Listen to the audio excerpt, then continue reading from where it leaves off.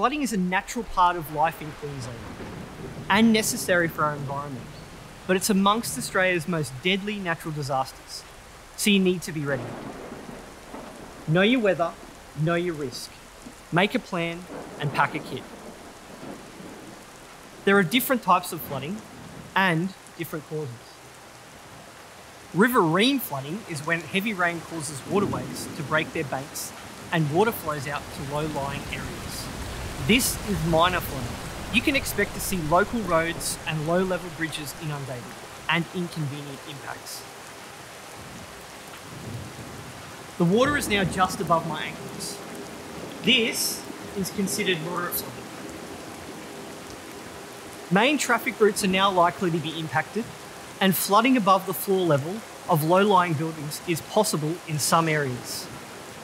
Even at this stage, you may be required to evacuate, so you need to be ready.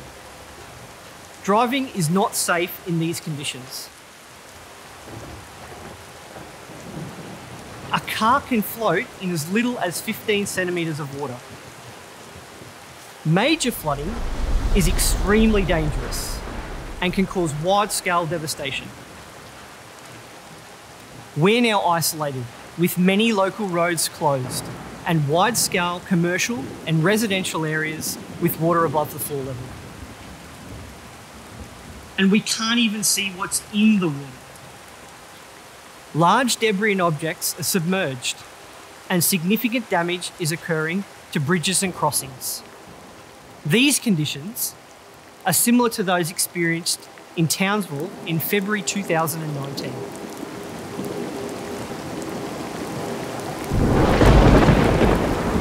Rainfall like this can lead to flash flooding, the most dangerous type of flooding.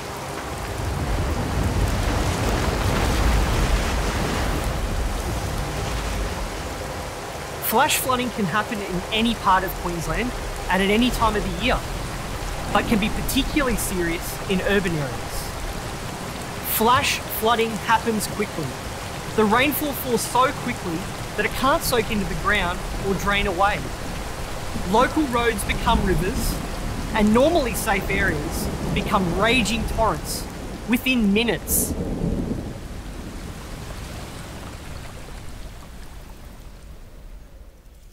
The water is now gone, but it still may be dangerous, with many roads and bridges significantly damaged.